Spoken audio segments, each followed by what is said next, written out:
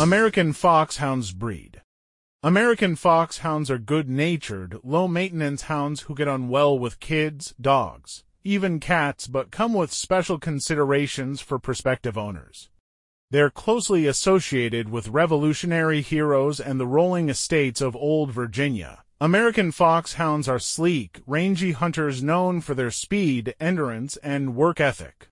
You can tell the American Foxhound apart from their British cousin the English Foxhound by length. Of leg the American's legs are longer and more finely boned, and by the American's slightly arched loin. American foxhounds have large, soft eyes with an expression described as gentle and pleading. So far, so good, but foxhounds come with special considerations. They need lots of exercise or they can get depressed and destructive. A foxhound's single-minded prey drive must be managed. Their loud bawling is melodious to hound lovers but can be a nuisance to neighbors and training and housebreaking these independent souls can be a steep challenge for novice owners. Official standard for the American Foxhound. The American Foxhound's skull should be fairly long, slightly domed at the back, with a broad and full cranium. Ears are set moderately low, long, reaching nearly to the tip of the nose when drawn out.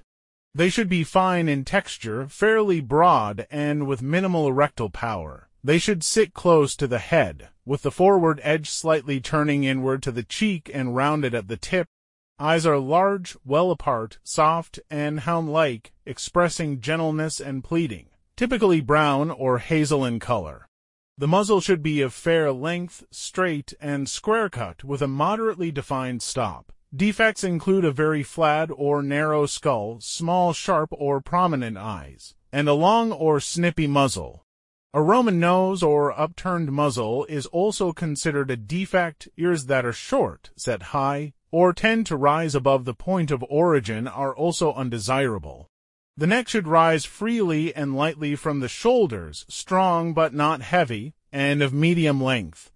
The throat should be clean without excess skin folds, although a slight wrinkle below the jaw angle is permissible. Defects in the body include a thick, short, Cloddy neck carried level with the shoulders and excessive throatiness, with visible dewlap and folds of skin.